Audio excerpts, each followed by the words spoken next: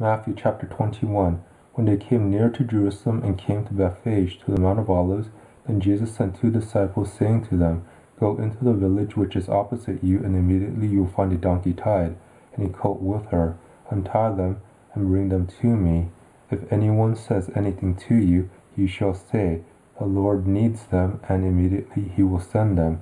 All this was done that it might be fulfilled which was spoken through the prophet, saying, Tell the daughter of Zion, Behold, your king comes to you, humble and riding on a donkey, on a colt, the foal of a donkey. The disciples went and did just as Jesus commanded them, and brought the donkey and the colt, and laid their clothes on them, and he sat on them. A very great multitude spread their clothes on the road. Others cut branches from the trees and spread them on the road. The multitudes who went in front of him and those who followed kept shouting, Hosanna to the Son of David. Blessed is he who comes in the name of Yahweh. Hosanna in the highest. When he had come into Jerusalem, all the city was stirred up, saying, Who is this? The multitude said, This is the prophet Jesus from Nazareth of Galilee. Jesus entered into the temple of God and drove out all of those who sold and bought in the temple, and overthrew the money changers' tables and the seats of those who sold doves. He said to them, It is written, My house shall be called a house of prayer, but you have made it a den of robbers. The blind and the lame came to him in the temple, and he healed them. But when the chief priests and the scribes saw the wonderful things that he did, and the children who were crying in the temple and saying, Hosanna to the Son of David, they were indignant and said to him, Do you hear what these are saying?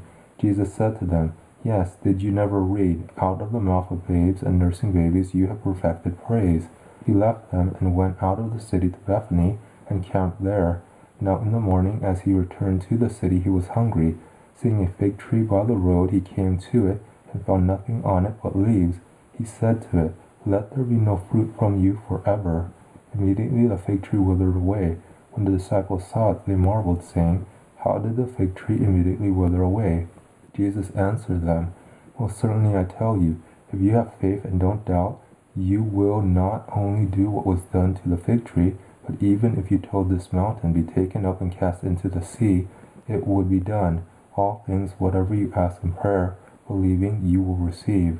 When he had come into the temple, the chief priests and the elders of the people came to him as he was teaching, and said, By what authority do you do these things? Who gave you this authority? Jesus answered them, I also will ask you one question, which if you tell me, I likewise will tell you by what authority I do these things. The baptism of John, where was it from, from heaven or from men? They reasoned with themselves, saying, If we say from heaven, he will ask us, Why then did you not believe him? But if we say from men, we fear the multitude, for all hold John as a prophet. They answered Jesus and said, We don't know. He also said to them, Neither will I tell you by what authority I do these things. But what do you think? A man had two sons, and he came to the first and said, Son, go work today in my vineyard. He answered, I will not. But afterward he changed his mind and went. He came to the second and said the same thing. He answered, I go, sir. But he didn't go. Which of the two did the will of his father? They said to him, the first, Jesus said to them, Most certainly I tell you that the tax collectors and the prostitutes are entering into God's kingdom before you.